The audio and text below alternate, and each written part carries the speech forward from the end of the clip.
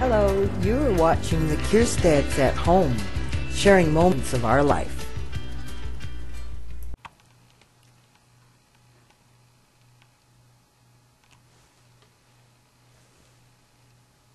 Hi, YouTubers.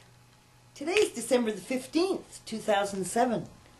Only 10 more days till Christmas. And Peaty and I are just hanging out today because they're calling for a snowstorm.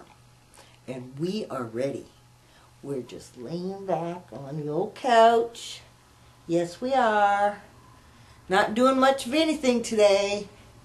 And we're loving it. Aren't we, Peaty? Huh? You're my guy. Say hi. Hi. Say hi. Look at Go look.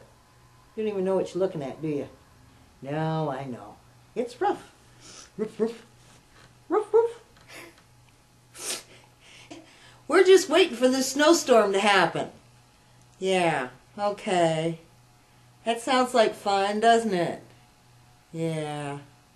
Oh well. Peaty and I are just enjoying the day. All right. See ya.